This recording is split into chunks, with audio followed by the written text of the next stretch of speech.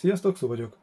Kaptam kérdést azzal kapcsolatban, hogy mit tudok tanácsolni az erdélyi játékokban a, a mozgásról, és úgy általában, hogy hogyan lehet egy kicsit hatékonyabb valaki.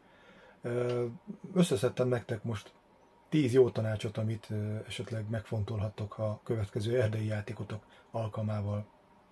Az első tanács. Beszéljetek ritkán, és akkor is halkan. Tartsatok olyan távolságot egymástól, hogy a suttogás vagy egy halkodó pisszenés is még átmenjen a társatokhoz.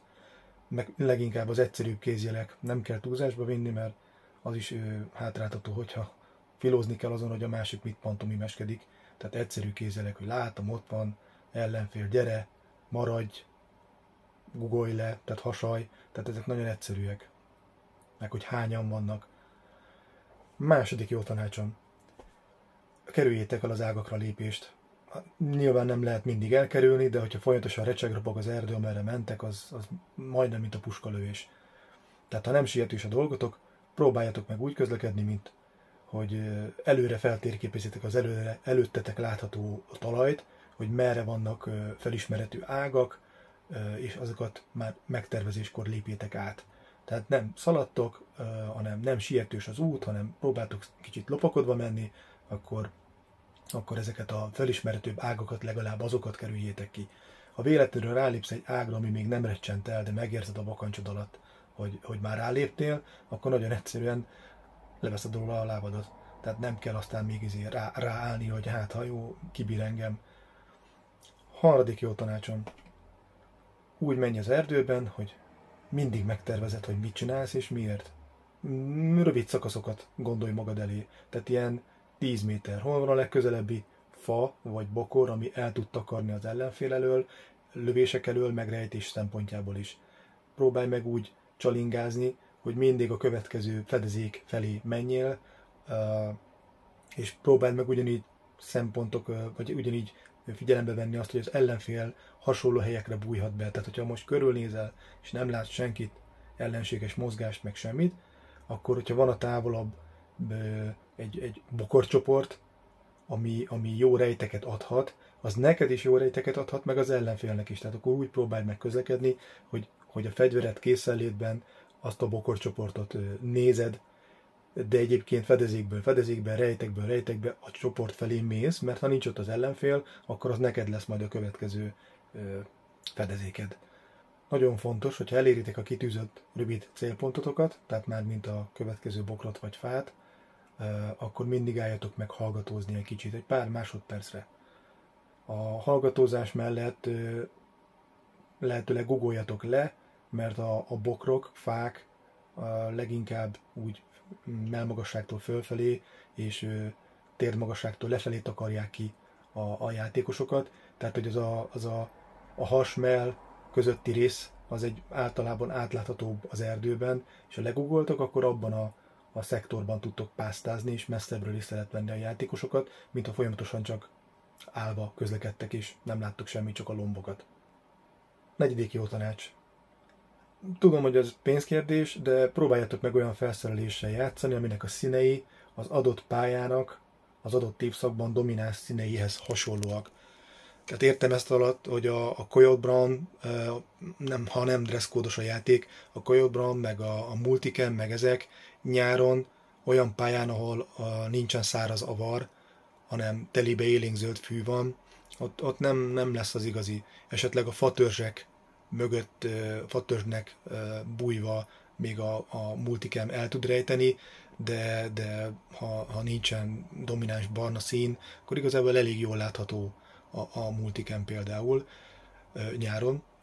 De ugyanez vonatkozik a fekete ruhákra, amit említettem egy korábbi videómban, hogy szerintem a fekete leginkább csak a feketében rejt jól, ami az erdőben az árnyékok. Sok árnyék van, igen, igen, de, de minden ruhátok, ami terepszínű és egyébként jól rejt az adott környéken, az az árnyékban is jól fog rejteni, míg a fekete meg csak az árnyékban fog jól rejteni. Tehát ezen azért el lehet gondolkodni, hogy, hogy igazából a, az árnyék az nem egy egyöntetű fekete szín, hanem, hanem ott is vannak sötétebb zöld, világosabb zöld, akármi színvilág, ami, amire ugye nem vetül a fény, de attól az még nem tömör fekete. Ha ott bementek a ninja ruhában, akkor, akkor még az is előfordulhat, hogy aki élesebb szemű, láthatja, hogy egy tömör fekete alak van az árnyékban.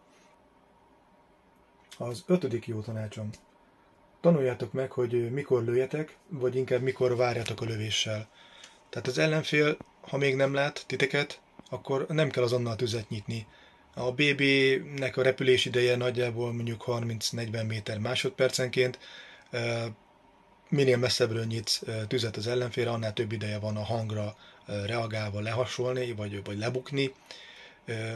Nyilván, ha halk a fegyvered, akkor ezzel, ezzel, ezzel lehet játszani, de, de felesleges akkor tüzet nyitni egy olyan ellenfélre, aki még nem lát, a, amikor, amikor 80-100 méterre van. Tehát azzal csak azt éritek el, hogy fölfe, fölfeditek az egész ö, csapatotokat, hogy, hogy ott vagytok, és mindenki fedezékbe fog ugrálni, és már felétek fog lőni olyan ellenfél is, akiről addig nem is tudtad, hogy ott van a környéken.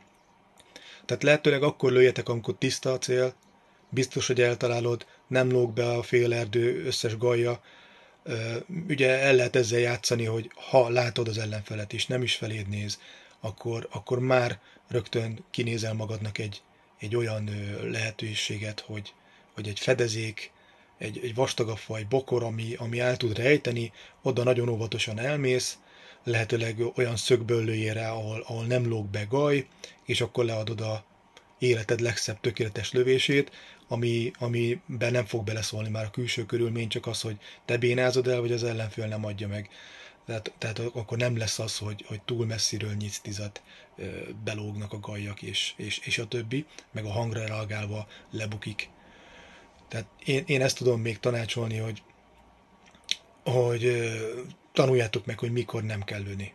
Nem azonnal. Egy csomószor van az, hogy megyek az erdőben, észrevesznek a játékosok, nem vagyok ilyen se láthatatlan, és elkezdenek rám lőni a sűrű erdőben ilyen 50 méter környékén, hallom a lövést, rögtön tudom az irányukat, még azt is esetleg, ha a különböző hangú fegyverekkel lőnek, hogy hányan lőnek rám, de, de mondjuk a környékemen nem kopog a BB, tehát hogy félúton megakad az öme, meg, meg mellém megy, én nyilván akkor elszaladok, fedezéket keresek, föltérképezem, hogy hányan vannak, merre vannak, megbírom ezt a helyzetet oldani, vagy nem, és ha igen, akkor, akkor ez szokott utána történni, hogy visszanyal a fagyi, én már akkor olyan helyről lövök, hogy már nem annyira látnak, mert egyre kevésbé vesznek észre, hogyha, hogyha kihasználom az álcát, halka fegyverem, és csak kopognak a bébék a környékükön meg rajtuk, és, és elrontották. Hagytak volna közelebb menni, én még nem láttam őket, lőttek volna olyan helyzetből, ahol már nem volt között, nem lett volna közöttünk sűrű fa, bokorzat, akármi, akkor, akkor ugye én csak kapom a sorozatot, és valószínűleg eltalálnak, tehát tegyük fel, hogy azért tudnak lőni a játékosok. Következő jó tanácsom. Tanuld meg, hogy mikor fuss, ugye ennek az ellentéte. Amikor látod, hogy az ellenfélt lát titeket, azt is látod, hogy mondjuk túlerőben vannak, vagy jobb fedezékben vannak, akkor ha nincs olyan parancsotok, hogy már pedig föl kell számolni bármiáron, vagy feltartani az ellenfelet bármiáron, akkor, akkor nektek, nektek nem muszáj vesztes csatát megvívni. Mi fog történni? Kilőttük pár játékost, veszítetek, ők fölmedikelik egymást, ha, ha van annyi medikük, mindegy, tehát tegyük föl, hogy fölmedikelik egymást, és ti meg visszasétáltok a visszaállóra. Tehát vesztes csatát megvívni, vesztes, vesztes helyzetben, rossz körülmények között, indokolatlanul nem éri meg. El kell onnan távolodni, esetleg, ha jönnek utánatok, mert ugye figyelni kell folyamatosan az ellenfélre, amikor már tudjátok, hogy, hogy láttok titeket, hogyha közelednek felétek, akkor természetesen elszaladni egy olyan helyzetbe, ahol ti lesztek jobb helyen, tehát beálcázni, rajtaütést csinálni, lelőni őket. Az már mindjárt más. Vagy ha nem követnek titeket, akkor elszakadni tőlük, és egy nagy kerülővel mögéjük menni, és onnan megint csak ideálisabb helyzetből felvenni a kontaktot. Annak is van értelme. Annak nincs értelme, hogy, hogy négyen kilőttök három játékost, titeket lelőnek, mert voltak tizen, és kész. És akkor sétáltok vissza a visszállóra, és elmondjátok, hogy jó volt, mert lelőttünk négy játékost, de igazából vesztítettétek a kontaktot, meg a pozíciót, meg az időt, amik oda-vissza mentek.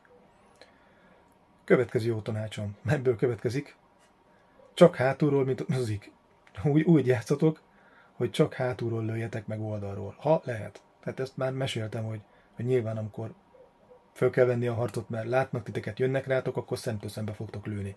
De amikor te döntöd el, hogy mikor, kire, hogyan lősz, akkor most a szemből lősz egy játékosra, akkor megvan az esélye, hogy a mozgást akkor vesz észre a hang alapján, ami a fegyveredből kijött, látja esetleg a repülő bébét, tud rá több mindennel reagálni, amikor, amikor szemből lősz.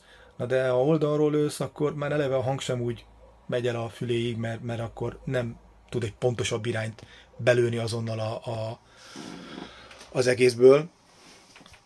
Hátulról meg pláne nem. Esetleg ezt meg lehet spékelni mindenféle olyan megoldással, hogy ha halkított fegyverrel lövöldöztök oldalról, esetleg, ha nem is halk a fegyveretek, de olyan ütemben lőttek, hogy az ellenfél tüzet nyit, ha mondjuk épp tűzharcban álló ellenfelet kerültek oldalba, akkor meg lehet csinálni azt is, hogy, hogy csak akkor lövöd a, a lövést, hiszen nem lát téged, tehát te döntöd el, hogy mikor lősz, amikor látod, hogy ő is lő. És akkor senki nem fogja hallani a környékén, mert elnyomja az ő fegyvere hangja a te fegyvered hangját. Tehát ilyen, ilyenekkel is lehet játszani. Következő jó tanácsom. Mozgás közben mindig figyeljetek a saját társaitokra is, mert konkrétan az is információ, még ha nem is tudja elmondani, hogy mi történt, mert kilövik, akkor legalább látod azt, hogy melyik irányból érkezhetett a lövés, tehát ugye más kárából tanuljatok, ne a sajátotokból.